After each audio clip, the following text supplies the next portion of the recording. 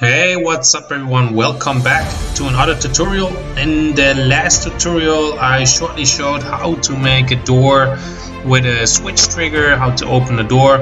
And in this one I want to make it a little bit more complicated but also uh, interesting for a game than that in a way that you have to pick up a key to open the door. And we're going to use a bool function for that. And I want to shortly show you how this works. So I have the scene set up from last time. If you saw my last video, I just left the door or the gate uh, with the trigger crystal in it. Um, and what I want to do is just create another door or gate in this area. And I'm just gonna like hide the key up in the cave. And if the player goes to the gate, it will say something like it needs a key. And once it gets a key, and the player walks to the door, the door will identify that um, the player has a key and that way opens the door. So let's shortly set up um, one more gate and I'm just going to use the gate from last time. Uh, not all of it, I actually just want to have, let's say, yeah, also the targets, the door, these are the things I actually want. I don't want these crystals or the triggers, I'm just going to copy this and call this the, the gate with key. I'm just going to drag it over. Whoops, I no, I unfortunately I copied some more, but let's just delete the stuff we don't really want. There you go. So we have the door in there, we have the pillars around the door, uh, the door target when it's closed. In this case, we don't really need that. We actually only want to open it once. You can actually delete this unless you want to keep it in that the door closes. But uh, yeah, for this purpose, let's just delete it. And this time I would also then like to add a key and I created a key. Let's see how it looks. It's not so nice. I created it quite quickly. It's also way too big. Let's make it small small key. Now Only the player can find. We put it here on top. We can make it float there, just in the air on the key. Um, just gonna pull the key, whoops, to the door so that I know it's there. Always make sure you sort everything. So the key is here. Um, just gonna add a little effect on it. Uh, not an effect, I mean a light. 2D light, freeform. Uh, I want to light it uh, the player. So just gonna add edit the shape there a little bit it's small. And for some reason when I zoom in, can't really get it. There we go. So and with lights, you can do a lot of different things. Let's say make it more very super bright in height. I can have a fall off that it also say surrounds the area. So I can change the color, but also the key itself, I could change the color, for example, to red or anything else for that matter. Let's say a dark blue. Actually, I like the white with the light, so let's leave it like that. So there's our key. On the key, we're gonna add a, let's say, let's add a circle collider 2D. Let's make it a little bit bigger. There we go. That way the player can pick it up. And of course it's marked as a trigger. Perfect. So that's set up and then the gate is here. So the first thing which we want to do is set on the player, um, just in this case Emily, we're going to actually add a finite state machine to the player. And it will have um, an easy state in which I want to check if the player has a key or not. And let's just call this as our no key and then later we're going to make a state something like has key there you go these are the two states in this um, in this concept. So to make this actually work, we actually need a variable, uh, which is going to be a bool. Uh, and let's also just call this has key. I'm just gonna add it here, and by default, a boolean is um, false unless you mark this one. Um, so there's a variable, and here we can just um, add, for example, the set bool value just to check. And by default, we're just gonna look the variable has key. As you can see, it's false. If I actually change it here and mark it, value check mark it, check marked, and I go back and then it's true. But I want to have it false. And if I go to has key, there the bool value, I can just copy this one. I can of course also go again to the set bool. I'm just going to paste it.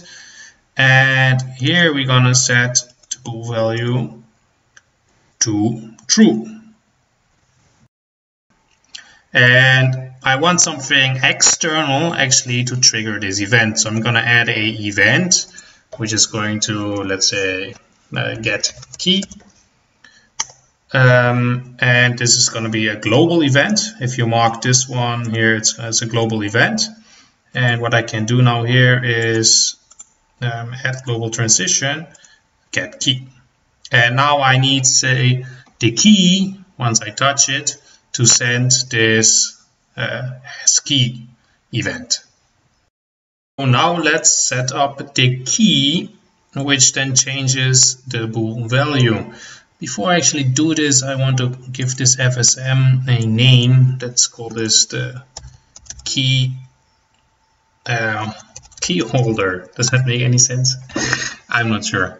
And then let's go to the key. Uh, so in the player level, we go to the key and here we're going to add a FSM.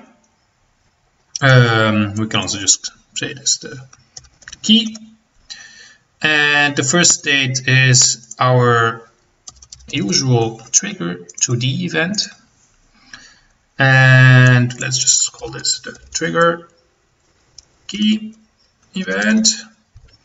And we're just gonna say on trigger enter colliding with the player. And we're gonna finish the first state, finish. And the second state should be then to change um, my characters or the player's FSM um, to true. Let's say give key. This can be done by adding the action send event and event target can be a game object FSM. And we're not going to use the user, we're going to specify the game object, just dragging in the player. And the FSM name was key holder. And we're going to send event get key. That's great. We can actually add a delay here. Uh, we can also, in this at this point perhaps play a sound. Uh, play sound which is nice that the person actually uh, gets a sound effect. Um, actually let's see if I have some nice sound effect for this. Maybe I can sing something but I'm not sure if that's so nice. Magical shimmer how about that? That that that sounds nice. Audio clip. Magical shimmer and send event. We're gonna get the key. And then we're gonna add one more state. And this is removing let's say the key from the area. Perhaps we can actually just say like give it a well no. Destroy self perhaps I don't want to do it this right away so we can add here a short wait first, a wait. I'm gonna wait, let's say three seconds, and then we're going to destroy self. But what I can also do is actually within the UI add the key as a picture in my screen. That way I actually know that I have the key because of course me in the background as a game designer knows that the boolean is now true but if you play the game it's of course nice to have an inventory or let's say a, a picture on the screen. So let's set that up as well. Uh, first thing I want to destroy self after the wait and what I should do is add a image to my user interface so I can just whoops sorry about that right click here go to UI and then I'm just going to press image. And you see a big white very nice white image here without anything in. And this is actually your user interface. This is the screen. If you go into the game you will see here the white box. And what I can do I just can put it let's say in the top left corner. That's why I want to have it for some reason it doesn't put me in the right left corner. Not sure why so I'm just gonna drag it to the upper left. Not sure why it didn't do that. And then of course I'm just gonna add the key here. And it's of course super huge now. I mean this I can also let's say scale a little bit. Up let's say perhaps here 0 0.5 0 0.5 that's that's that's okay. It's not really nice. Um, can also change the color here of the, of the key? But that's not really helping the case. Um, yeah. Anyway let's just leave it there. I think it's it's helpful. And what we have to do is add a canvas group and the reason for that is that you can set in the canvas group the alpha the alpha meaning the transparency to zero. And now it's gone. And within let's say the key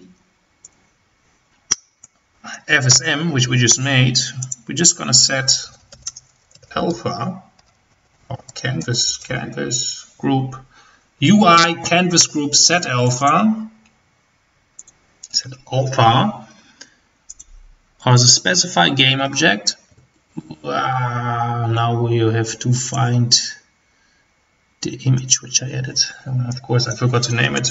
Just to be the key. Um, so we go back to key. We're just gonna drag in the key and we're going to set the alpha to 1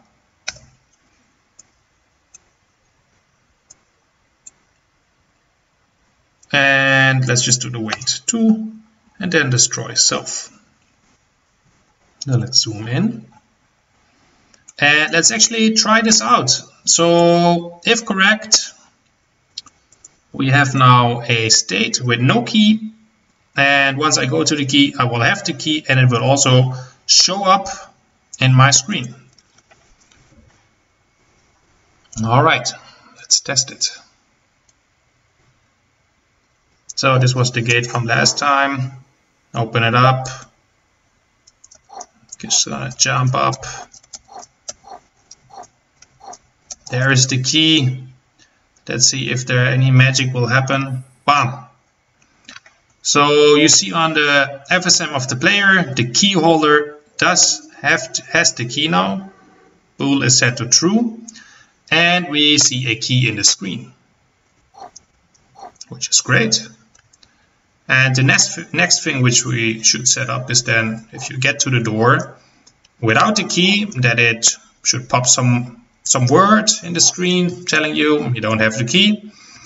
And if you have the key, if you get here, that it actually opens. And of course, you can also add a text here, but main purpose is that you get through this area. All right, so let's get on with it.